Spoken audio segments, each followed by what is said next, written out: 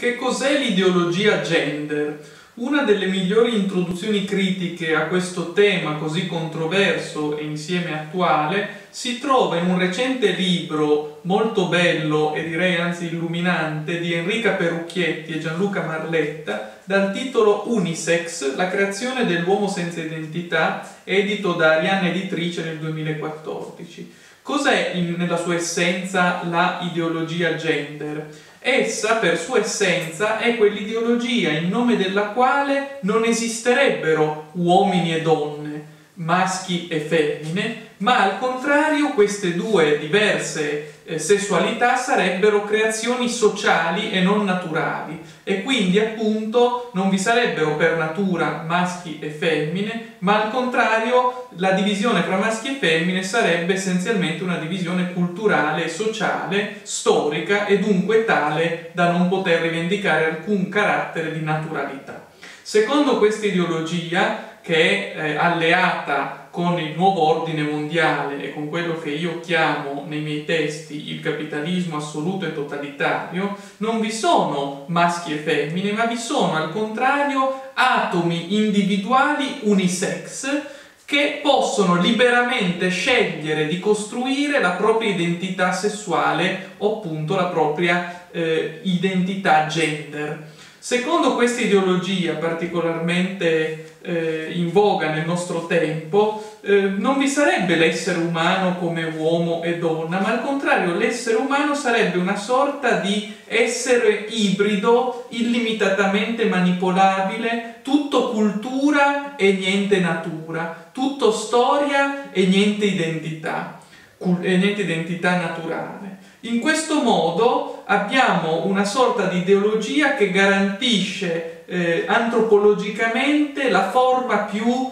eh, diciamo così, confacente rispetto al capitalismo dominante che impone appunto che non vi siano uomini e donne, che non vi sia diversità ontologica fra uomini e donne e la diversità fra uomo e donna è quella diversità in forza della quale sussiste l'identità del genere umano che si dà nella sua identità appunto tramite la distinzione uomo-donna. Secondo l'ideologia gender invece vi sono solo atomi individuali unisex che sono illimitatamente manipolabili e che possono scegliere culturalmente se essere uomini, donne, transgender, anche così via. Eh, ora, è evidente che dal mio punto di vista almeno per natura vi sono solo due sessi, quello maschile e quello femminile, e poi infiniti invece sono gli orientamenti sessuali, che è ben altra cosa, ma per natura appunto i sessi sono due, quello maschile e quello femminile. Ora l'ideologia gender, che è un'ideologia funzionale al capitalismo trionfante, che mira a distruggere ogni diversità e a imporre quell'ideologia del medesimo in forza della quale si vuole vedere ovunque sempre solo la stessa cosa, cioè atomi di consumo senza identità culturale, senza lingua che non sia quella inglese, senza capacità di comunicare se non tramite la grammatica del cretinismo economico, come lo chiamava Gramsci, ebbene questa ideologia è pienamente coerente rispetto al nuovo ordine mondiale che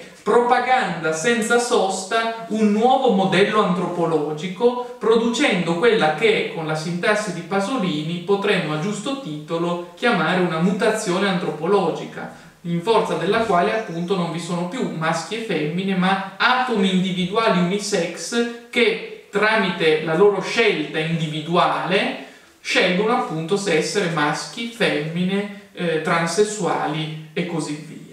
Ora, questa ideologia è del tutto coerente con il nuovo ordine mondiale, soprattutto se si considera che esso ha come propria funzione espressiva principale la neutralizzazione della comunità, la neutralizzazione di tutto ciò che può essere naturalmente resistente al nuovo ordine mondiale stesso e soprattutto mira a imporre un modello di atomo individuale illimitatamente manipolabile portato sempre e solo allo scambio e al consumo. Ora, eh, la nuova ideologia gender eh, utilizza continuamente in maniera compulsiva ogni risorsa simbolica per neutralizzare, diffamare silenziare chiunque non accetti l'ideologia gender in quanto tale dove appunto non accettare l'ideologia gender in quanto tale significa, ed è il mio caso ad esempio, riconoscere che per natura vi sono uomini e donne, femmine e maschi, fermo restando appunto che due sono i sessi e infiniti possono essere gli orientamenti sessuali che sta all'individuo naturalmente scegliere. L'ideologia gender invece mira esattamente a distruggere l'identità eh, del genere, mi, mira a distruggere la differenza uomini e donne e a imporre l'unico modello del consumatore unisex, in modo tale da imporre questa nuova categoria e da silenziare immediatamente chiunque osi metterla in discussione tramite la multicomprensiva e abusatissima categoria di omofobia laddove appunto l'omofobia viene oggi utilizzata come categoria non solo per condannare chi utilizzi violenza contro le differenze, e in questo caso abbiamo un giusto uso della categoria di omofobia per eh, accusare quanti utilizzano la violenza per non accettare l'altro, la diversità rispetto da sé. Ma la categoria di omofobia, in una sua variante più ampia, più potremmo dire eh, moralmente connotata e ideologicamente condizionata, viene oggi altresì impiegata per mettere a tacere chiunque non accetti l'ideologia gender come unica ideologia possibile. Ad esempio, se uno oggi ritiene, fermo restando il rispetto per ogni tipo di differenza e di gusto sessuale,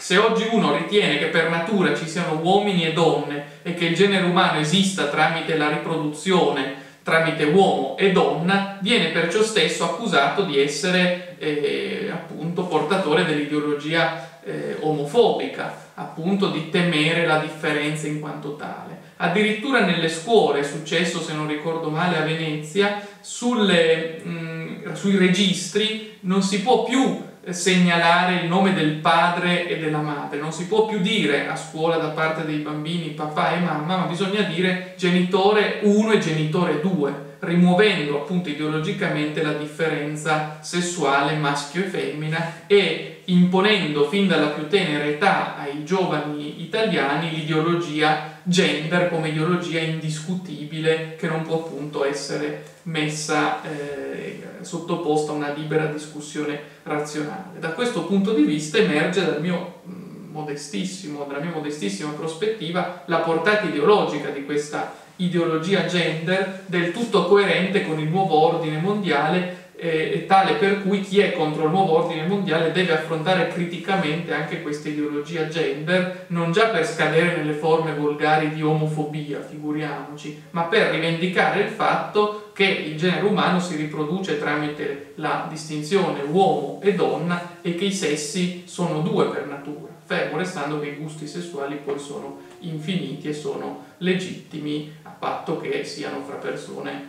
che appunto libere, consenzienti eh, in quanto tali.